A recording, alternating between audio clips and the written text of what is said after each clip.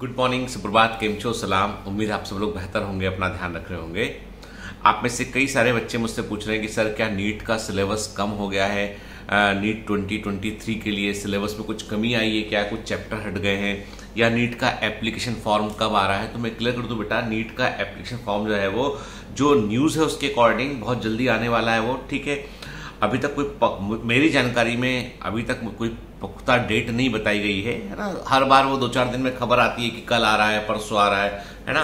तो आएगा तो दिख जाएगा आपको तो N T A NEET dot nic dot in website पर जाकर आप चेक कर लीजिएगा आप, ठीक है ना? तो N T A NEET website को आना तो फर्जी वेबसाइट मत जाइएगा, जो एक्चुअल वेबसाइट है एनटीए का उस पर जाइएगा आप, ठीक है? तो एनटीए नीट जो है dot nic dot in website है, उस पर आप जाके चेक कर सकते हैं, ठीक है? रही बात सिलेबस कम होने की तो बेटा ऐसी न्यूज़ जो है वो लास्ट ईयर भी खूब उड़ती थी कि सिलेबस कम हो गया है सिलेबस नहीं हट गया है। अभी तक कोई पुख्ता जानकारी इस बारे में नहीं है।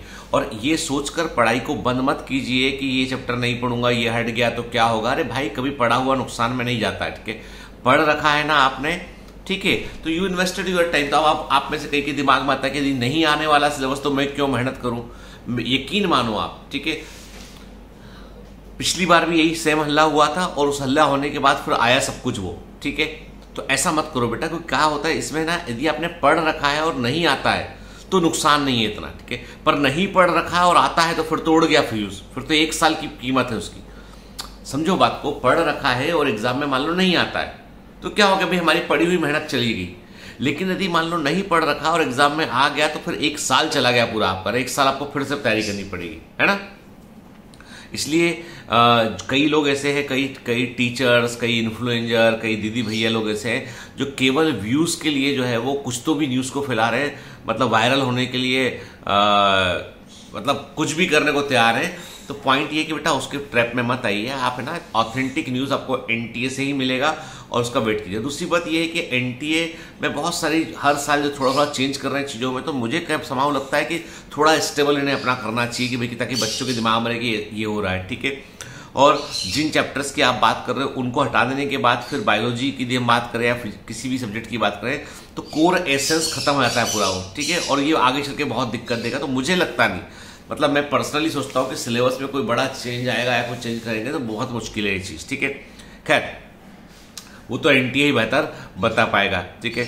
और एक सेकंड बताइए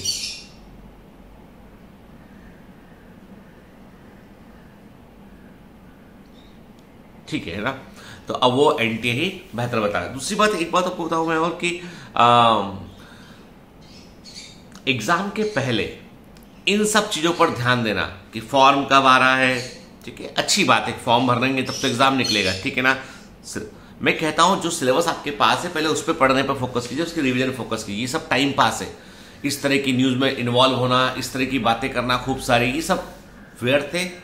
ये सब समय की बर्बादी है तो इसमें मत पड़िए, क्योंकि देखिए, मैं क्लियर कर दूँ आपको, कितनी सीटें बढ़ गई हूँ, लेकिन अब भी तभी भी बहुत कंपटीशन है नीट के अंदर, बहुत कंपटीशन के, इसको हल्के में मत लीजिए, ठीक है? और, चलिए, आज के हम मॉर्निंग मोटिवेशन आज की इंपॉर्टेंट बात करते हैं, वो ये है कि बड़ा अच्छा किस्सा मुझे अभी पढ़ने में आया वो किस्सा है विल गेट्स के बारे में। आप जानते हैं ना विल गेट्स को माइक्रोसॉफ्ट के संस्थापक हैं और एक जमाने में बहुत लंबे समय तक दुनिया के सबसे अमीर आदमी रहे और ये बात पुरानी है, दस साल पुरानी बात होगी। तब मुझे लगता है कि विल गेट्स ने जब जब मैं मेडिकल कॉलेज में था, तब से वो नंबर वन थे और तब से कई सालों तक, दस दस पंद्रह, बीस साल तक वो नंबर वन रहे विल गेट्स सबसे अमीर। अभी भी टॉप टेन के अंदर वो शामिल है, सबसे अमीर आज लोगों में शामिल है। और मुझे लगता है कि आने वाले दो साल में बिल गेट्स फिर से नंबर वन हो जाएँगे। माइक्रोसॉफ्ट ने चैट जीपीटी ले रखा है। चैट जीपीटी जो है वो बड़ा खतरनाक चीज़ है। कि गूगल वूगल कहीं लगता नहीं सामने उसके। चैट जीपीटी जो है वो समझ लीजिए कि एक प्रकार से एक नए नया तरह का रिवॉल्यूशन से गूगल है। गूगल से मच बेटर जो है वो काम कर रहा है चैट जीपीटी ठीक है? खैर। तो एक बार क्या हुआ कि जो विलगेट्स है विलगेट्स ने जो है वो आ, ने किस्सा बताया एक इंटरव्यू के दौरान। कि एक बार वो न्यूयॉर्क एयरपोर्ट पर जो किसी काम बहुत जब वो जब वो स्ट्रगलिंग फ़ेज़ में थे, जब वो अपना काम शुरू किए थे, उस समय उनके पास ज़्यादा कुछ मतलब ठीक ठाक था, लेकिन ऐसा नहीं था कि बहुत सारा बहुत अमीर आदमियों में शुमार हो ज़्यादा लोग उनको जानते भी नहीं थे, ज़्यादा लोग उनको जानते भी नहीं थे। तो न्यूयॉर्क एयरपोर्ट पर एक बार वो उतरे तो उन्होंने वहाँ पे जो है उनका मन किया कि एक न्यूज़पेपर न्यूयॉर्क टाइम्स दिखाई पड़ा, कि न्यूयॉर्क टाइम्स को मैं ले लूँ। तो उन्होंने न्यूज़पेपर के हॉकर के पास गए, एक लड़का था, पंद्रह सोलह साल का लड़का रहा होगा। जाके उन्होंने बोला कि भाई पेपर चाहिए लेकिन उन्होंने जब पेट्रोल के देखा देखा कह रहे मेरे पास तो कोई है ही नहीं, सिर्फ़ क्रेडिट कार्ड है मेरे पास, और मेरे पास तो कैश पड़ा ही नहीं बिल्कुल भी। तो उन्होंने अखबार वापस रख दिया। लड़के ने बोला, क्या हुआ, सर? बोला कि, अरे यार, तुम, मेरे पास सिर्फ़ क्रेडिट कार्ड है और तुम्हारे पास कार्ड की मशीन नहीं है। पैसा मेरे पास खुला है ही नहीं है। तो लड़के ने बोला, कोई बात नहीं ना, आप ले लीजिए न्यूज़पेपर तुमको नुकसान नहीं जाएगा इससे? ठीक है सर वो मैंने प्रॉफिट में से मैंने दे दिया आपको। जो मुझे प्रॉफिट अखबार बेचने का होता है तो एक आप, एक आपको दे दिया मैंने न्यूज़पेपर ठीक है विलगेट्स चले लेके अखबार तीन साल बाद वो दोबारा उस उस एयरपोर्ट पर उतरे किसी काम से। सेम हॉकर लड़का जो है वो तीन साल बड़ा हो गया होगा। ठीक है उसी के पास पहुँचे वो फिर दोबारा। भाई शायद वही शायद न्यूज़ न्यूज़ पेपर वेंडर वही होगा वहाँ पे। इस बार फिर वही हुआ। गए न्यूज़पेपर लिया। देखा, अरे चेंज ही नहीं मेरे पास में। बड़ा वाला नोट इस बार नोट था, और बड़े डॉलर हंड्रेड डॉलर का नोट था ऐसे। दिया उसको तो उसने बोला कि सर, ये तो बहुत बड़ा है, कि मतलब इतने पच्चीस सेंट पचास सेंट के न्यूज़पेपर के लिए। मतलब आधे डॉलर के लिए मैं सौ डॉलर का चेंज कहाँ से ला के दूँगा मैं अभी तो मैंने काम शुरू ही किया, सुबह सुबह का समय, चार बजे सुबह, पाँच बजे सुबह का तो मेरे पास चेंज नहीं है। तो विलगेट सर, ठीक है, फिर रख लीजिए एक बार वापस रख दिया। तो उन्होंने नहीं, आप मुझे याद है, एक बार बहुत पहले आप और आए थे आप, ठीक है? आप ले लीजिए। है ना? कभी मौका लगेगा तो बात करेंगे।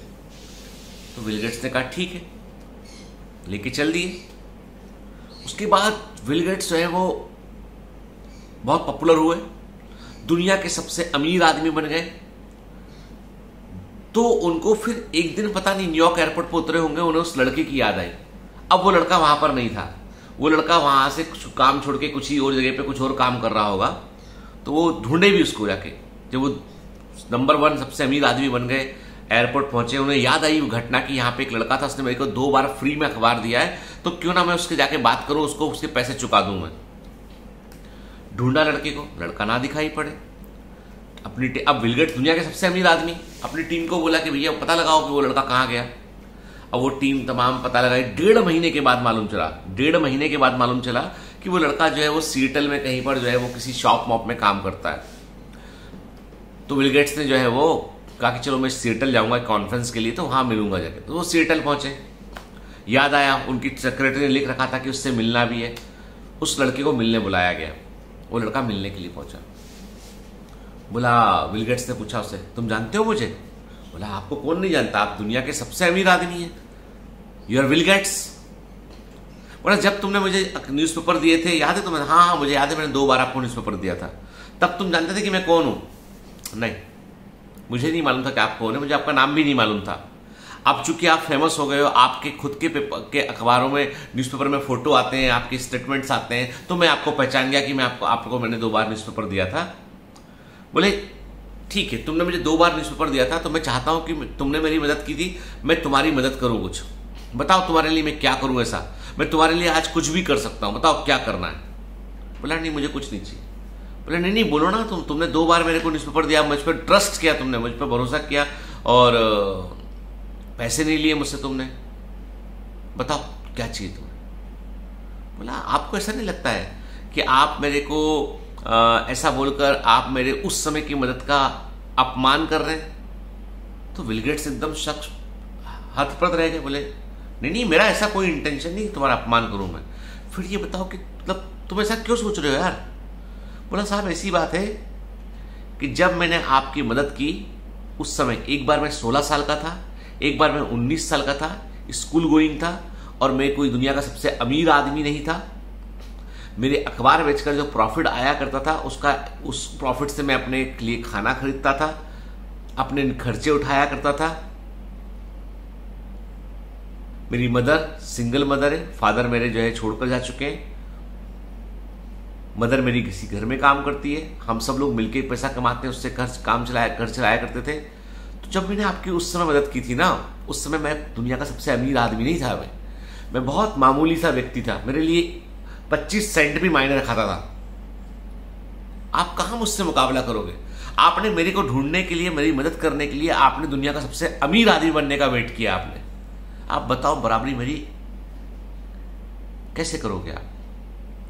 विलगेट्स को रियलाइज़ हुआ कि हाँ यार, मैं तब भी तब भी चाहता तब भी इसको ढूंढ लेता।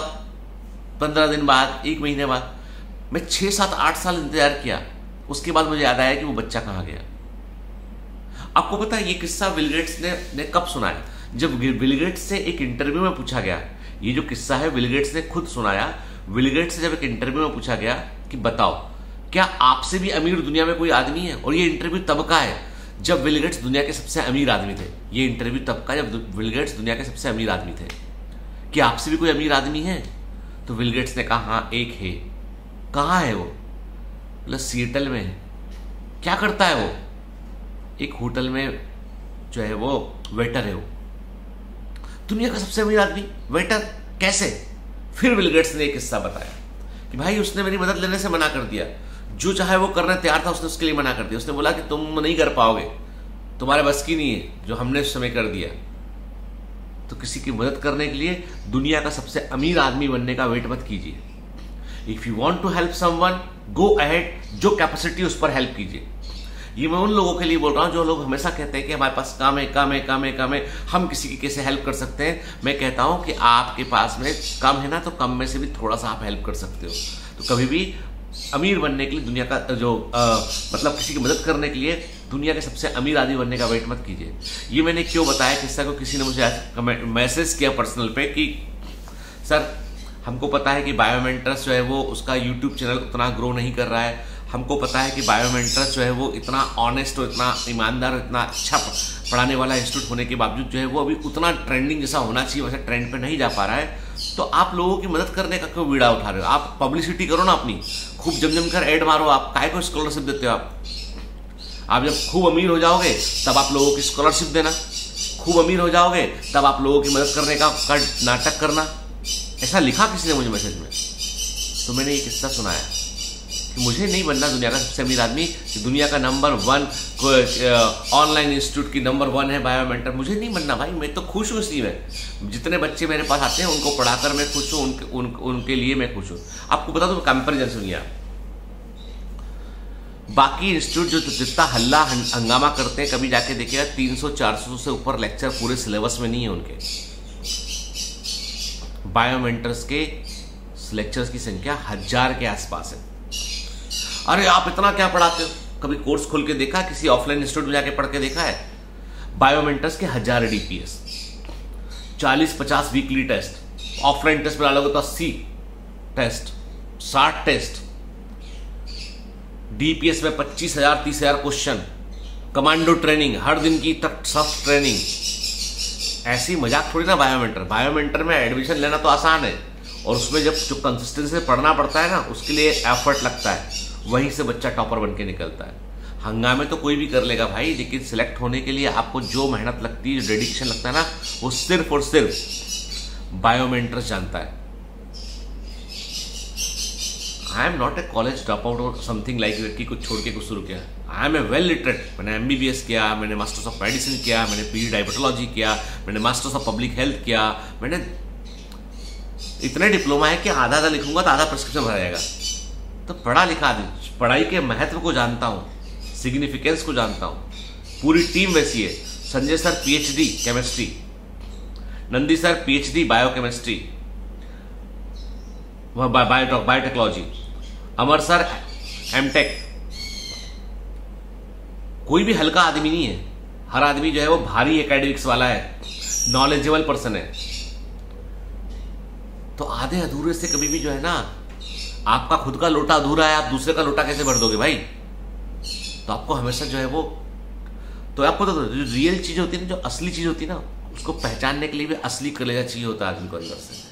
तो मैं दुनिया का सबसे अमीर आदमी बनने का या बहुत बड़ा बनने का वेट नहीं करूँगा किसी की मदद करने के लिए। जो है वहाँ से मदद करूँगा। ये बात मैंने विलगेट्स की उस किस्से से सीखी। आई बात समझ में? चलो। तो ये ऐसी सलाह, उल्टी सीधी दिया मत करो। हमको मैसेज यदि हमारा नंबर तुम्हारे पास है तो अच्छी बातें किया करो। क्या फालतू बात करते हो क्योंकि इससे समझ में आता है कि तो दिमाग में क्या चल रहा है। हालाँकि आप मेरे ही भले की बात करते हैं कि सर आप को बेड करो, ये करो, वो करो। नहीं बेटा, हमारे, हम, हमको तुम्हारे होते हुए यदि विज्ञापन करना पड़ा तो हमें अपने आप पे भी शर्म आएगी, तुम पर भी शर्म आएगी। क्योंकि प्रॉब्लम ये है कि इस पूरी दुनिया में दिखा, दिखाया क्या गया, उस पर पूरी दुनिया चल रही है। असली में क्या एसेंस है, ये लोग पता नहीं कर पा रहे खैर, कभी माँ के आशीर्वाद का विज्ञापन देखा है? कि कभी माँ के आशीर्वाद का, माँ की ममता का विज्ञापन आ रहा हो। कभी पिता के आशीर्वाद का विज्ञापन देखा है कि पिता, ये पिता है, सबको आशीर्वाद देगा? नहीं। भाई बहन के प्यार का कभी विज्ञापन देखा है?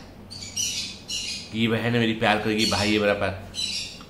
जो ट्रू रिलेशनशिप होते हैं ना, वहाँ विज्ञापन नहीं होते हैं। समझ गए बात को ठीक है? Have a great day all the best bye bye